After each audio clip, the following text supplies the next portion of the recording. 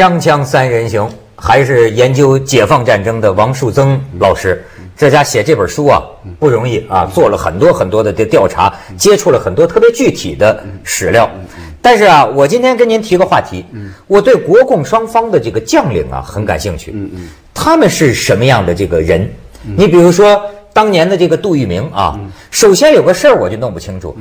他这么聪明，当年还是这这个远征军的，对，就抗日名将，对，这么一个人啊，怎么这个从徐州啊，他最后那么多军队撤出去的时候，那么乱七八糟，你知道到最后这个为什么给围了？说是从徐州撤的时候，呃，兵也有啊，民也有啊，混杂在一起，络绎于途啊，就是这这到最后那那那不跟刘备一样？这个就 乱七八糟的，怎么会把这个军事行动搞成这个样子呢？我想你刚才说的一个话题很有意思。无论是共产党的将领还是国民党将领，我说的高级将领啊，我们翻译他的履历，实际上都是当年的热血青年，没错，而且很多是同学，同学，有的黄埔同学，呃，即使不是同学，都是在大革命初期的时候，对吧？十几岁，这个投笔从戎是吧？满怀救国，都是为理想奋斗。哎，对，而且呢，两党的精英啊，在大革命时期、北伐时期是并肩作战的。对。是吧？互相见面是什么兄什么兄这样什么兄的，而且呢，很多人是双重身份，啊，双重党籍，呃，既是国民党又是共产党。毛泽东还做过，呃，国民党宣传部宣传部长，对，汪精卫秘书。后来呢，由于呃这个黄埔军校说了不允许呃有个双重，你要只能选择一个，嗯，啊，那么呃我就拉倒了，分出来一个，分出来一个。那我想就是说。我们应该从这些青年的一开始，我们来判断这些人，他们都是很有才华。这些人是职业革命家、职业军人才华。这就有一个悲剧性的一一个一一个悖论了，什么呢？就是说，一个人他纵然有千般才华，但是在一个历史的这个特定的环境之内，他站在什么样的一条的历史轨迹之上，决定个人命运。你这投错了阵营。那你再有才华，也是心比天高，命比纸薄。对你比如刚才我们说那个徐州撤退，那简直不叫撤退，他带着市民有三十多万。是，我就不为什么带着市民走呢？当时啊，国民党在解放战争后期，国民党每放放弃一个城市啊，就已经不是军事行为了，后边全跟着这些人，特别奇怪。那么跟着这些人是什么？呃，老百姓就是说，老百姓啊，我告诉你啊，有三类人。主要跟非要跟着不可的第一类人是什么？第一类人就是地方政府，呃，对，地方政府官员，对，对不对？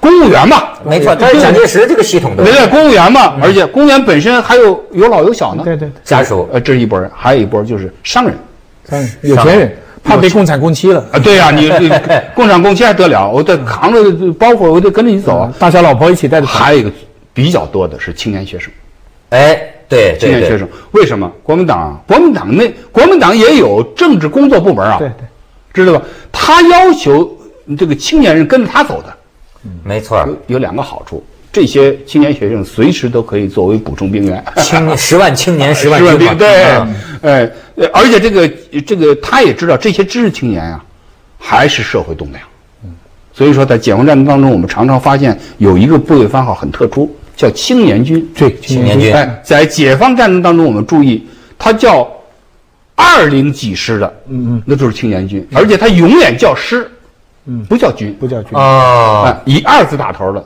这就是青年，就是蒋经国经营的。这解放战争当中也是非常顽强的，能打吗？能打，守守沈阳、守洛阳等等，这些都打到最后了，最后抵抗的肯定是这个青年军。青年军基本的成分都是青年学生。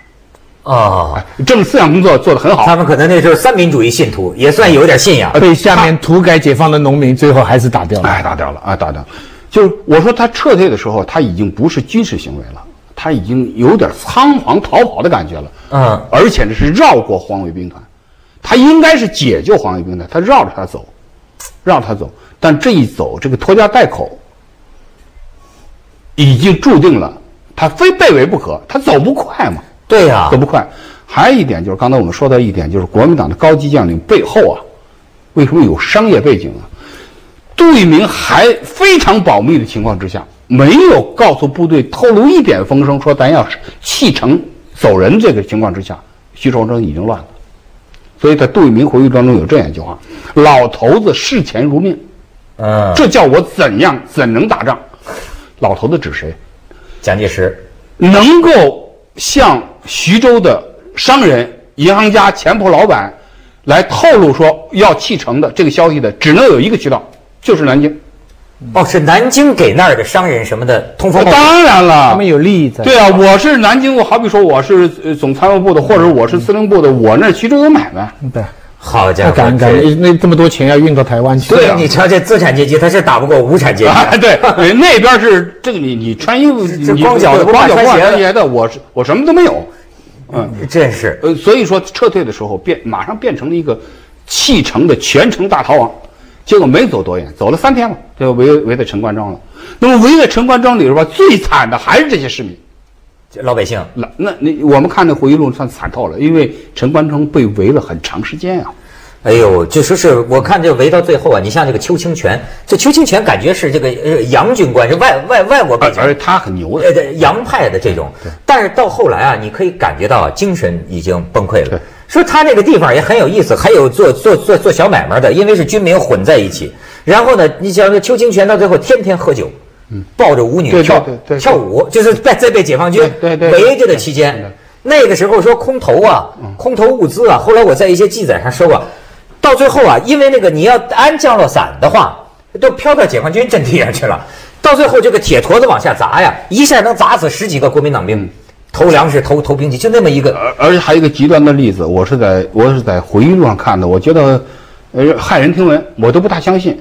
就是说他呢，就是空投场啊，是被他宪兵包围着的，任何人不许进这空投场，就落降落伞的空投场。这食物咱们是分发的，是那个意思，不能个人哄抢。有个别的空投袋落到这个呃宪兵的警戒线外边了，里边是大饼。我就看那个回忆，就是抢了一个饼，抢一个饼，赶紧咬一口，就挨了一枪。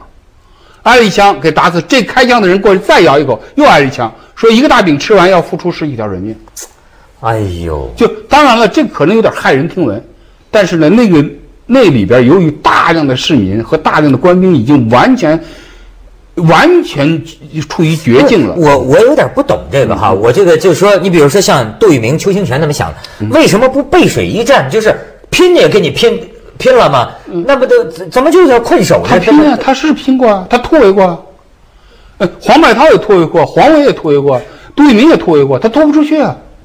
哎，你那个飞机大炮空中优势，这这还打不了吗？呃呃，蒋介石专门派了空军人到他空投到他这个现场，不要告诉你几号方案、几月几号几点，我空军出多少上百架次的飞机，我使用毒气弹给你杀开一条血路，你怎么怎么着？但是他突不出去。你觉得这个从军事上怎么理解呢？呃，解放军太厉害了，我觉得可能我可能那时候士兵是不太愿意打了，就跟那个毛泽东选集里说的那个敦促黄维什么将军投降书里边儿那说很清楚，我们的士兵，呃，这个愿意愿意呃作战，你们的士兵不愿意作战。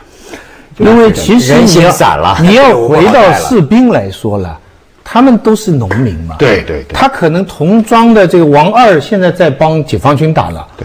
他在这边，他他可能就觉得没道理。但明天他穿上他的衣服就过去了。呃他一被俘，他就穿上解放军的衣服了。我还得说一个细节啊，这也是我原来没想到的事儿哈。嗯，我就不可理解为什么说一仗打下来，这个十几万、二十几万的俘虏，瞬间就把帽哥换了。对，就变解放军了。对，而且瞬间就能调调转枪口。为什么？